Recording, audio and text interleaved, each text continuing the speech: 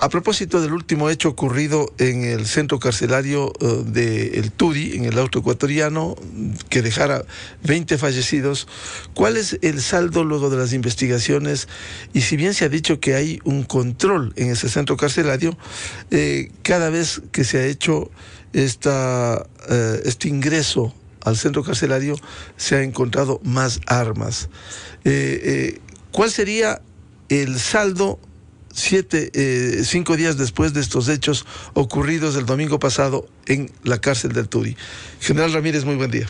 Buenos días, don Miguel. Un saludo cordial a todos los escuchas. Eh, primero, solidarizarnos con los familiares de los tres periodistas, eh, porque si no hacemos fuerza de aquellos hechos de violencia que han eh, realizado esta connotación nacional y social, no estamos eh, haciendo lo correcto y quizás estamos ausentes como sociedad. Eh, bueno, inmediatamente que fui designado el 8 de diciembre como director general del SNAI, inmediatamente generamos un diagnóstico en donde pudimos eh, tener importantes datos desde lo general a lo particular, es decir, el 93% son hombres, el 7% son mujeres. El 71% de esa población apenas tiene una formación primaria. El 44.24% eh, está entre los 18 y 30 años, es decir, económicamente activa. El 1.192 personas están entre las personas de la tercera edad, discapacitados y con enfermedades catastróficas. Y eh, 1.262 eh, personas tienen una doble vulnerabilidad. Entonces, Ejecutado esta, este diagnóstico, inmediatamente realizamos una planificación estratégica 21-25 alineada al Plan eh, Nacional de Desarrollo. Y de esta manera tenemos seis acciones que son muy importantes y que las iré precisando. En torno a la situación ocurrida en Turi, hay que eh, señalar que fue enfrentado de diferente manera a los eh, otros acontecimientos, es decir, con firmeza, rápidamente y de manera oportuna. Eh, coordinada y articulada con otras instituciones como son Fuerzas Armadas y Policía Nacional. Podríamos indicar que en este momento eh, tenemos el control eh, con un lamentable saldo de 20 personas muertas, eh, 20 de manera violenta y una presunción de suicidio están ya realizando las investigaciones correspondientes de, la DINASET. Sin embargo, hemos precisado que no daremos un paso atrás en torno a aquellas acciones eh, ilegales, ilegítimas, amotinamientos, eh, alteraciones o peor muertes en cada uno de los centros y de esta manera contribuir a que vayamos solventando y sobre todo eh, teniendo aquellas acciones que tienen que ver con la rehabilitación universalizada y la reinserción efectiva a la sociedad. General Ramírez, de las investigaciones iniciales que se han realizado, ¿qué ocurrió en el Turi? ¿Cómo entender? Y esta es una visión desde afuera que tampoco es un problema de hoy, es, es un problema que se ha profundizado durante los últimos tiempos. ¿Cómo logran ingresar armas al centro carcelario? Bueno, las armas eh, pudieron haber ingresado antes o ahora. Sin embargo, todos aquellos protocolos que hoy hemos definido, la infraestructura, tecnología y medios técnicos que vamos a ir incorporando acorde a eh, las eh, diferentes prioridades que tenemos de los centros. Eh, para este año tenemos una inversión de 30 millones de dólares para que podamos intervenir en aquellos centros que requieren una tecnología nueva, avanzada y que permita que no ingresen estos objetos prohibidos. Eh, pero es importante establecer que eh, la dinámica interinstitucional que hemos tenido entre SNAI, Fuerzas Armadas y Policía ha hecho que estos eh, objetos sigan una trazabilidad. Tenemos información muy importante que en las próximas semanas tendremos importantes resultados. Estas investigaciones resultarán satisfactorias y esto desalienta al crimen organizado para alcanzar estos objetivos. Eh, General Ramírez, eh, cada vez que han ocurrido estos hechos, no nos olvidemos que el año pasado hubo eh, 321 eh, fallecidos en los centros carcelarios, a diferencia del año 2020, que hubo 46, según los datos. Eh, el, cada vez que se hace una requisa se encuentran las armas. ¿Cómo lograr que no vuelvan a penetrar eh, a través de los filtros eh, las armas y algunas de grueso calibre? Eh, precisamente con incorporación de tecnología, con la rotación del talento humano, porque lamentablemente este contacto permanente que tienen entre agentes penitenciarios y las personas privadas de su libertad hace que tengan una familiaridad o alguna situación que en algunas ocasiones no solo es por alinearse a ellos, sino también a veces son extorsionados o amenazados. Pero lo importante es que estamos haciendo una planificación. Eh, empezamos con Esmeraldas, donde realizamos ya un importante traslado de eh, agentes penitenciarios para poder contribuir a que no exista este tipo de acciones. Pero lo importante son, sobre todo, eh, masificar un código de ética que también lo incorporamos, una norma técnica de, funciones de directores. Eh, estamos en las próximas eh, semanas también vendrán técnicos de certificaciones ACA, de certificaciones de em, centros penitenciarios, donde vamos a someternos a un estudio y quizás ya tengamos un primer centro calificado y certificado. ¿Cómo se están formando los guías penitenciarios? Que por cierto en el pasado con muy poco tiempo eh, pasaban a ser guías penitenciarios. ¿Cómo se forma? ¿Pasan el polígrafo? Eh, eh, ¿Cómo se está formando a ellos? Ese es uno de los segundos planes de acción dentro de esta gran acción que estamos generando, es la profesionalización. Para este año, a fines, tenemos una graduación de 1.400 agentes penitenciarios con un primer centro de formación eh, penitenciaria, donde tendremos tanto una formación para agentes penitenciarios también como una eh, profesionalización de directores, administradores o eh, gestores de penitenciarios. estamos con, juntamente con la Policía Nacional, con la Dirección Nacional de Educación, ya estamos en la parte de difusión que empezó en este mes de abril. En junio empezarán el curso y finalizarán en noviembre, eh, donde tendremos instructores no solo de nacionales, sino internacionales. Por eso tenemos la participación de Estados Unidos, de Colombia, del pacto a través de la, Unión Europea, eh, Portugal, Italia, Francia. Eh, importantes datos que nos han permitido incluso reformar la malla curricular y hacerla mucho más profesional. ¿Cuánto gana un guía penitenciario que empieza en su trabajo? Aproximadamente 800 dólares. 800 dólares.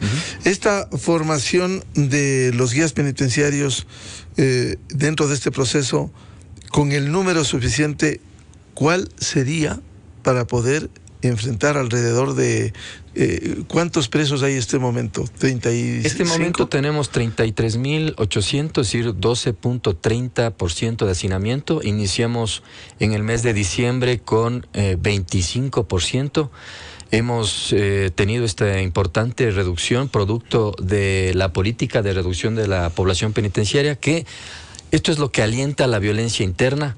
Eh, esperamos que al final del año tengamos cero hacinamiento, es decir, 30 mil personas con 30 mil plazas en los centros de rehabilitación. Una de ellas es el indulto presidencial del 355 de aquellas personas que cumplieron el 40 y el 60%. Eh, he visto algunas redes eh, sociales y opiniones que estamos sacando a aquellas personas a las calles. No, no, son personas que ya cumplieron su beneficio, ya están en una prelibertad pero por diferentes circunstancias burocráticas, eh, con una exigencia de documentos que no requerían, ahora los hemos simplificado, incluso eh, coordinaciones con la Corte Nacional, que es un importante apoyo y ayuda. Tenemos cinco resoluciones que son fuerza de ley, con el Consejo de la Judicatura para hacer audiencias telemáticas y, tener también la optimización de recursos para evitar los traslados, eh, que no haya esa peligrosidad eh, en los traslados. también tenemos la utilización de dispositivos de vigilancia electrónica o comúnmente denominados grilletes, que también será para que se reduzca la población penitenciaria e incluso facilita la operatividad de la policía porque están desviados tres policías por turno de aproximadamente 450 personas a nivel nacional con arresto domiciliario, que quiere decir aproximadamente 1.200 policías que ya saldrán a la parte operativa. Esto también hace que eh, se contribuya a esta disminución y también nuestro eh, proyecto Renacer, que eh, tendrá una agilidad en los procesos para que también podamos tener aproximadamente 4.000 personas en eh, eh este beneficio penitenciario. Eso ha hecho que eh, tengamos una proyección que al final del año tendremos cero hacinamiento. señor general Ramírez, ¿cuándo y cómo se va a colocar estos aparatos cuando el gobierno ha decidido eh, entregar más recursos al sistema penitenciario, ¿cuándo se va a colocar los escáneres que, permite identificar eh, electrónicamente, científicamente, el que no puedan ingresar armas u otros objetos? Ya estamos en el portal de compras públicas, se han cumplido todos los plazos correspondientes eh, de la compra pública y en las próximas semanas ya tendremos los primeros equipos que llegarán a, nuestros centros y de esta manera eh, priorizar aquellos que son eh, mucho más eh, violentos, en algunos casos por antecedentes, no por lo digo que ahora, sino más bien por el riesgo que puedan generar y de esta manera contribuir a esta seguridad que tanto anhelamos. Ahora, siendo importante el contar con estos equipos, General Ramírez, también la parte operativa es fundamental, quienes operen, quienes revisen, quienes controlen, eh, porque déjeme contar la experiencia hace, hace por lo menos un par de décadas, cuando en el sistema de aduanas se colocó estos equipos, eh, en muchos momentos de la tarea estaban o dañados o desconectados. ¿Cómo lograr que esos operadores eh, controlen el funcionamiento pleno de esos equipos y no sean apagados, no sean dañados, eh, no sean eh, manipulados. Sí, precisamente por eso es que hemos incorporado técnicos de cada uno de los países que le he mencionado con apoyo de cooperación internacional.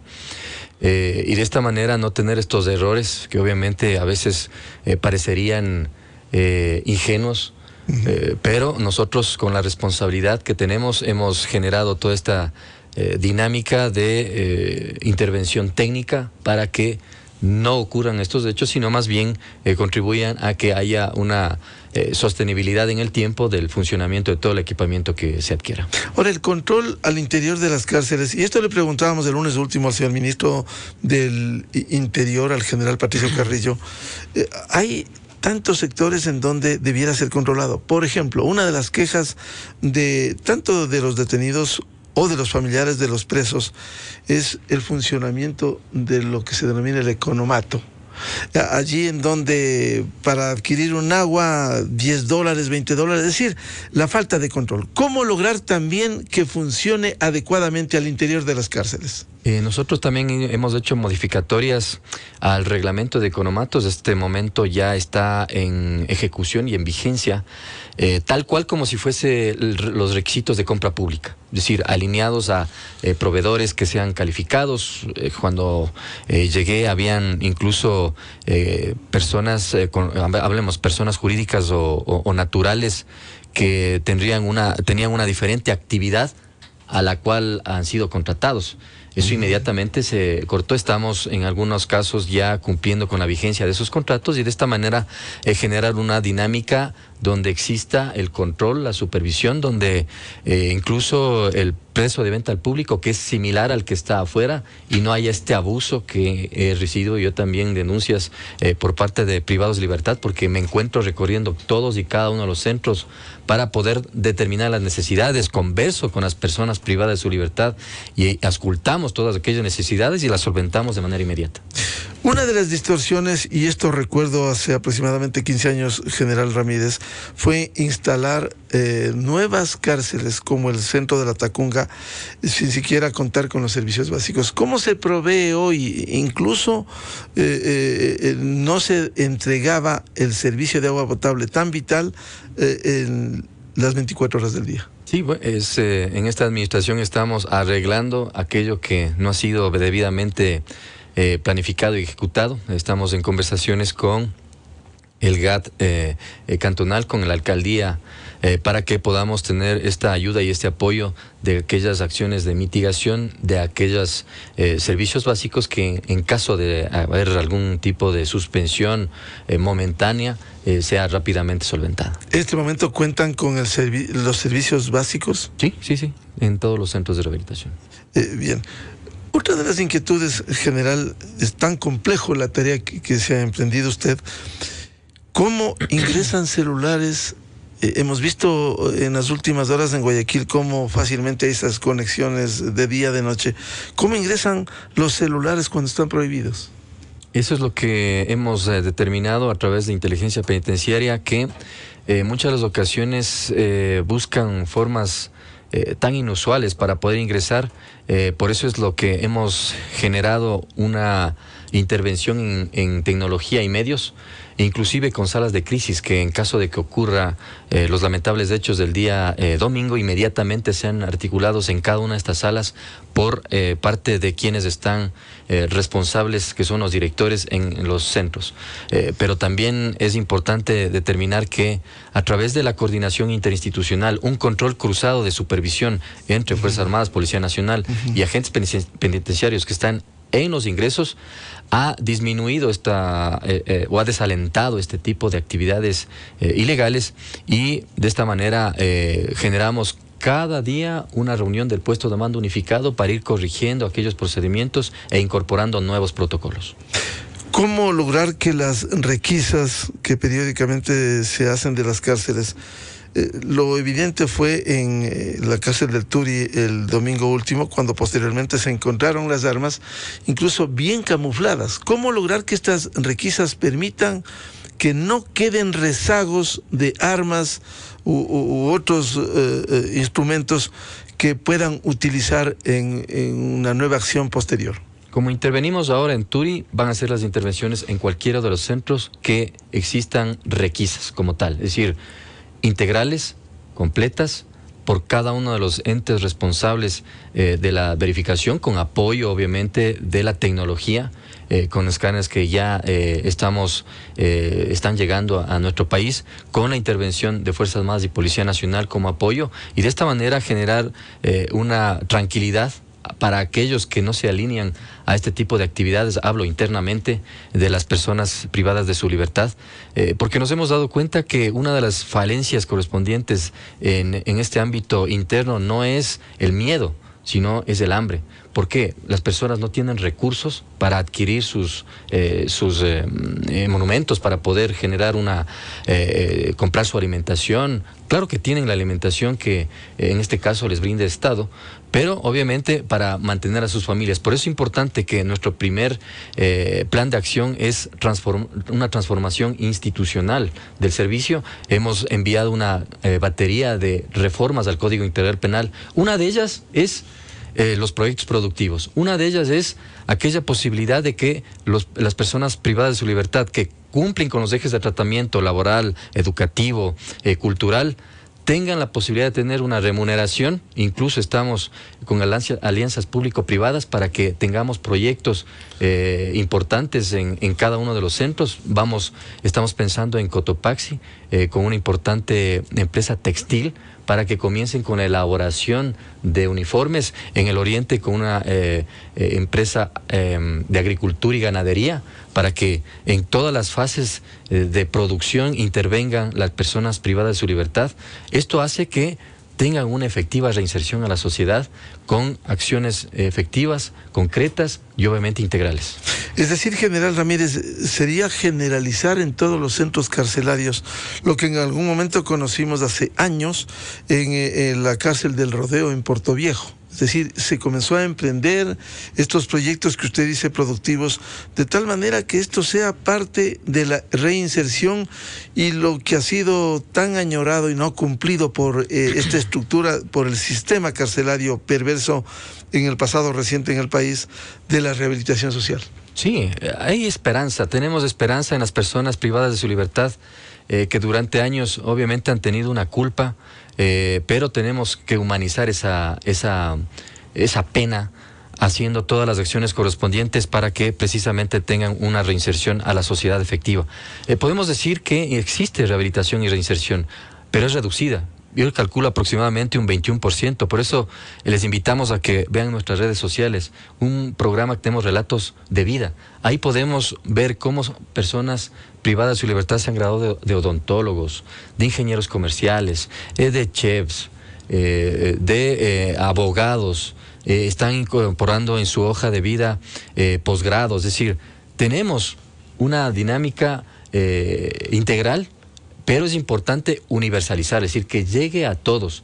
Eh, una de las reformas también en el Código Integral Penal está que eh, no sea eh, obligatoria solamente para ciertos delitos sentenciados, sino más bien para todo un universo que tenga esa posibilidad de activarse eh, hablemos en su parte educativa y cuando salgan tendrán los diferentes eh, profesiones acorde a su habilidad y acorde en, otros casos eh, artesanos que también han salido con muchas habilidades en carpintería, en, costura y esta, de esta manera aplicar nuestras, nuestra política de transformar, humanizar y dignificar el servicio de rehabilitación. ¿Cuál es el estado en el que se encuentra el centro de alta seguridad denominado La Roca? Para ilustrarnos, recuerdo y poseemos eh, el libro El Testimonio, por cierto, de un narcotraficante, Oscar Caranqui, que se podría decir murió en su ley y que estuvo en La Roca. Esto se cerró y ahora por decisión del gobierno se ha reabierto. ¿Cuánto se va a invertir? ¿Cómo se encuentra el centro carcelario de alta seguridad una vez que han ingresado estos cinco jefes de las bandas eh, criminales de la cárcel de Turi? Empezamos en diciembre ya una intervención en infraestructura. Eh, próximamente se realizará la intervención en infraestructura y equipamiento, aproximadamente eh, un total de 2 millones de dólares que ya estuvieron previstos en nuestra planificación eh, estratégica dentro de los proyectos de inversión. este momento ya están en una fase de un 70% y de esta manera ir incorporando en este centro 189 plazas que irán generando una perspectiva de aquellas personas que no quieren adecuarse a nuestra eh, política de pacificación en las cárceles, de diálogo, eh, y obviamente corregir aquellas eh, situaciones de infraestructura que lamentablemente antes habían ocurrido algún tipo de fuga, sino más bien ir corrigiendo aquellas situaciones que ocurrieron, sobre todo en equipamiento y tecnología. General Ramírez, ¿cuáles son los protocolos establecidos a propósito de motines y de la última acción en el Turi que permita que esté absolutamente claro el protocolo respecto de un eventual sucesos a ocurrir en el futuro. Eh, le mencionaba que el puesto de mando unificado se eh, ha activado en cada uno de los centros de rehabilitación, eh, para lo cual están articulados Fuerzas Armadas, Policía Nacional y el SNAID. Tienen diariamente varias reuniones con inteligencia penitenciaria y de esta manera prever cualquier tipo de acción y mitigar aquellas situaciones que ocurrieron lamentablemente en Turi. ¿Qué tiempo va a tomar esta rehabilitación que se ha emprendido, como usted ha señalado, general Ramírez, en la cárcel La Roca? El tiempo es eh, apremiante, no tenemos, eh, sino más bien hemos apurado todas aquellas acciones eh, tendientes a que ya esté en ejecución toda nuestra perspectiva de cambio, eh, de corrección de aquellas acciones eh, que quizás estuvieron eh, mal encaminadas. sin embargo, todos nuestros centros de rehabilitación están en un horizonte, en un nuevo horizonte institucional. Hablemos de una resocialización penitenciaria y de esta manera contribuir a alcanzar los objetivos. Por ahora no habrá nuevos traslados luego de lo que ocurriera con la cárcel del Turi? No, no hay que atemorizarse sobre los traslados. para tener en cuenta, el año anterior tuvimos 2.000 traslados eh, estos se hacen por seguridad y otros por orden judicial. En este año, por seguridad, eh, hemos eh, prevenido 83 muertes violentas, porque usted sabe, hay una, una convivencia en algunos en un momento pacífica y puede activarse por cualquier razón. Ante esta previsión hemos generado estas, estos traslados y hemos contribuido a que a prevenir 83 muertes violentas. Incluso en la misma activación eh, de los hechos de Turi, 130 personas fueron evacuadas rápidamente, producto de esa articulación oportuna entre las instituciones que intervienen en la, seguridad penitenciaria. ¿Cómo cortar la comunicación, los contactos desde dentro de las cárceles que permita evitar esta conexión que se ha señalado entre las bandas que están presas en las cárceles y, los hechos de violencia que ocurren fuera de los centros carcelarios. Equipamiento y tecnología, por eso hay eh, dentro de todos aquellos eh, proyectos de inversión están los inhibidores de señal, eh, pero ya con otros parámetros que por seguridad no le puedo indicar, pero mucho más efectivos dadas las circunstancias de ahora que tenemos incluso la frecuencia 4G en celular. sin embargo, es importante señalar que en algunos espacios periodísticos me dicen casi es lo mismo lo que han propuesto otras administraciones le digo no.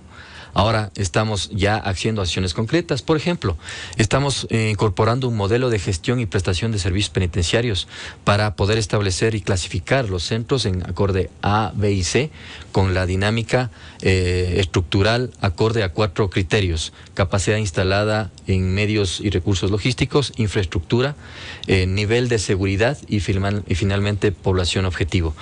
Esto determinará un ordenamiento incluso interno una vez que tengamos todos aquellos datos eh, con el censo penitenciario que nos permitirá hacer una clasificación de sentenciados, procesados y aquellas personas que eh, se incorporan a esta dinámica eh, jurídica en personas de apremio o flagrancia. Eh, General Ramírez, eh, usted ha anunciado la adquisición de estos equipos electrónicos para la rigurosidad en los controles de ingreso a las cárceles. Si bien se lo hace a través del sistema de compras públicas, ¿qué tiempo va a tomar esto? Eh, bueno, estamos acortando todos aquellos tiempos, incluso quizás en algún momento solicitar la declaratoria de emergencia. Sin embargo, eh, acorde a los tiempos que hemos establecido, estamos eh, con todos los equipos correspondientes de manera rápida, oportuna, para que puedan ya estar los equipos aquí. ¿Se podría decir que este momento hay una relativa tranquilidad, normalidad en los 36 centros carcelarios del país? Sí, bueno, es algo latente que pueden eh, generar hechos en algún momento, algún tipo de situación extramuro, porque no nos olvidemos que todo lo que está en la ciudad repercute en los centros y viceversa. A veces eh, la acción oportuna eh, de la Policía Nacional a través de la incautación de grandes cantidades de droga hace que también haya una eh, inquietud internamente. Una repercusión por la conexión con las bandas. Exactamente por el, choque de, de bandas delictivas, pero que aquellas acciones irracionales no las vamos a permitir. Es decir, no retrocedemos de ninguna manera por eso es importante que conozcan que la firmeza con la cual estamos enfrentando hoy esta crisis será diferente. Porque claro, si este éxito de la Policía Nacional a través de antinarcóticos eh, hace subir año tras año el decomiso, si hubo más de 210 toneladas el año anterior, una cifra récord, simplemente estos son golpes a las bandas y consecuentemente, como usted bien señala, general Ramírez, repercute al interior de los penales. Esto obliga a mantener mayor rigurosidad en los controles. Sí, eso nos obliga a hacer esta articulación efectiva, integral entre las fuerzas y precisamente, como comentaba, hemos eh, prevenido 83 muertes violentas de enero a la fecha y vamos a continuar con nuestra acción interinstitucional con Fuerzas Armadas, Policía Nacional, LESNAI y de esta manera eh, prevenir estos hechos eh, lamentables. ¿Cómo está contribuyendo la inteligencia penitenciaria? Bueno, eh, la efectividad con la que igual le he mencionado, eh, incluso en el hecho de Turi, 130 personas fueron evacuadas rápidamente, que en algunos casos hubiesen eh, sido lamentables hechos. Estamos en este momento realizando varios traslados también para contribuir a que no vuelvan a ocurrir cualquier tipo de acto violento. Los indultos dentro de esta política de bajar, reducir sustancialmente el hacinamiento, va permitir este año eh, lograr que no haya ese hacinamiento hasta fines del 2022? Sí, eh, hasta el momento tenemos 375 eh, personas que han sido indultadas con el decreto 355 y vamos a seguir avanzando. Nuestra proyección aproximadamente es de 1.800 personas. Eh, con nuestro proyecto eh, Renacer serán aproximadamente unas 3.000 y obviamente con incorporación de dispositivos de vigilancia electrónica quizás otras eh, mil personas. De esta manera alcanzar rápidamente en este año el objetivo de cero hacinamiento. Este trabajo en los diferentes frentes, General Ramírez, también ha logrado que haya agilidad. Cuando hay una boleta de excarcelación, a veces demora en esos trámites burocráticos que pese a contar con, con esta atribución, esta norma, simplemente demora la libertad. Esa es la cuarta acción dentro de nuestro plan, que es la interoperabilidad de un sistema de gestión penitenciaria. Hemos conversado con la Corte Nacional, con la, Judicatura, Policía Nacional a través del CIBNE y el Registro Civil.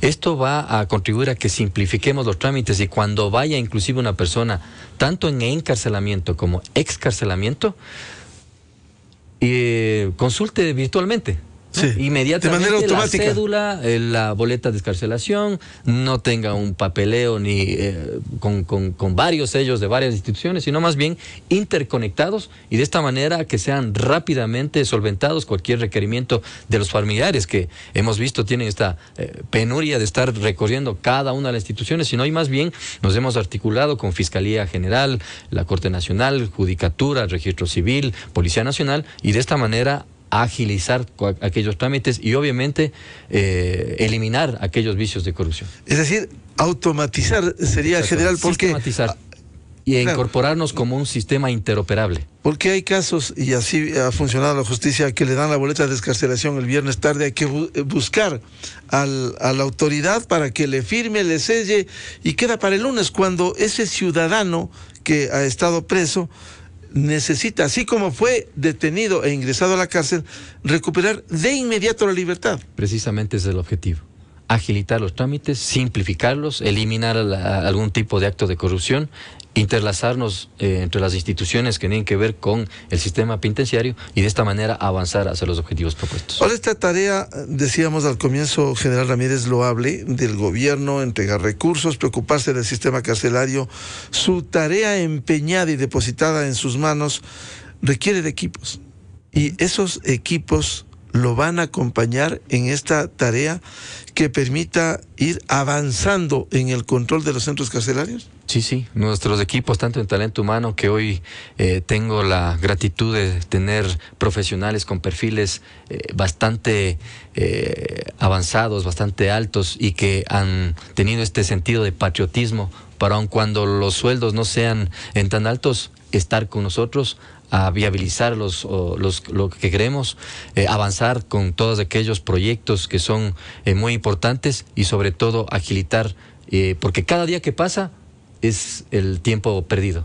Cada minuto que no se lo recupera. Que no se lo recupera, exactamente. Entonces, por eso es importante que nuestros equipos se incorporen y es lo que he tenido hasta este momento, una agilidad. ¿Está optimista, General Ramírez, de este gran desafío que le ha encargado el gobierno? Tenemos fe, tenemos optimismo, sobre todo la confianza, y estamos seguros que vamos a cambiar, a, alcanzar esta dignificación, transformación y humanización del sistema con actos, con acciones que sean integrales, oportunas y sobre todo con fe de que alcanzaremos esos objetivos. Y luego del control de los centros carcelarios pasar a aquello que ha sido algo utópico, irrealizable, la rehabilitación social. Sí, eso es importante. Como le decía, eh, aumentar el porcentaje, universalizar la, rehabilitación es nuestro objetivo. Eh, avancemos eh, a pasos agigantados cada uno de los meses. Por eso es importante la política pública de rehabilitación social que se lanzó el 21 de febrero con aproximadamente 27 millones y es la primera vez enfocada en derechos humanos. Esto ha hecho que los ministerios del ente social, eh, educación, eh, deportes, eh, salud, inclusión económica y cultura, cada uno tenga planes, proyectos y programas que intensifiquen y universalicen la rehabilitación y la reinserción a la sociedad. Bien, al general Pablo Ramírez, director del sistema carcelario el SNAI, le agradecemos la presencia general. Lo importante será rendir cuentas de esta tarea que se ha empeñado el gobierno y que usted está liderando. Muchas gracias, general. Muchas gracias, buenos días. Eh, muy amable, siete, nueve minutos en el territorio continental ecuatoriano. Vamos a una pausa publicitaria y volvemos para analizar un tema político. ¿Qué debiera incluirse en una consulta popular de la que se viene hablando en el Ecuador a fin de cambiar este sistema político tan perverso que, que se vive en el país. Tres invitados, el doctor Medardo Leas, el doctor Rafael Ollarte y el licenciado Lolo Echeverría. Miguel Rivadeneira en la revista de Opinión Democracia. Inicio de espacio promocional y publicitario. Una banca es sostenible cuando sus acciones generan un impacto positivo en el medio ambiente